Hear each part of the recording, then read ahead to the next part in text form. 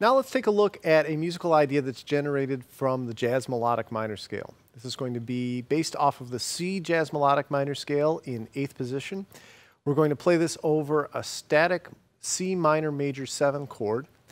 And it can really work in a number of different ways, but it's good to hear it in relationship to the parent chord. So check it out.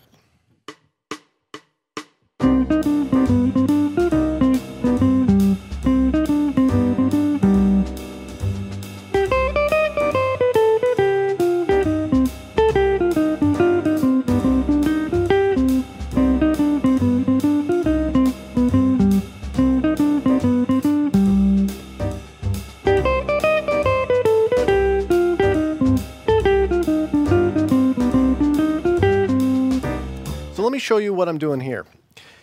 I'm beginning on C, and I'm going to E flat, then to D, C, B natural, C, D, F, E flat to C.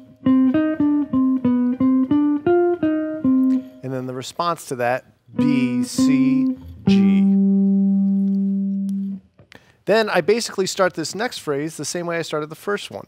C, E flat, D, C, B, C. And now I go to D and then to G. And that's the resting place for this second motif.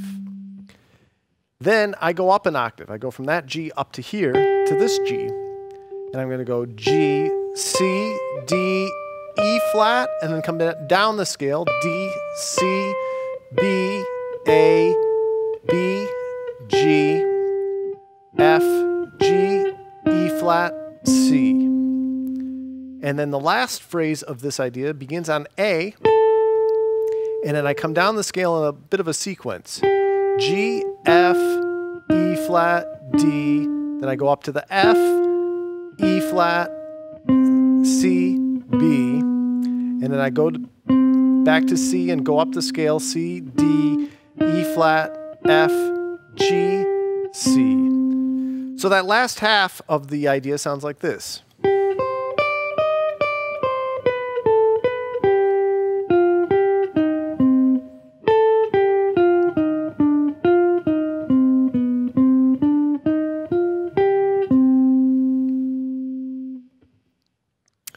All these ideas combined together really gets in the sound of the jazz melodic minor and really also gets in the sound of the parent chord, the minor major seventh chord.